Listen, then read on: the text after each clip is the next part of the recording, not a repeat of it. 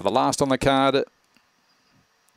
Racing, Cool Talent pinged out, went straight to the lead. The favourite in second place was Sticky Vicky. Going into third was Fernando Stealth, then Freak on Knee, Tattooed Warrior down the back, and Cool Talent in full flight. Out by three lengths on Sticky Vicky, Fernando Stealth, and then followed by Tattooed Warrior, Freak on Knee on the corner. Cool Talent's nicely clear for Mickey McLennan, out by three lengths on Sticky Vicky, and Cool Talent race away, wins the last by two and a half. Sticky Vicky second ahead of Fernando Stealth, Tattooed Warrior, and Freak on Knee last to the five.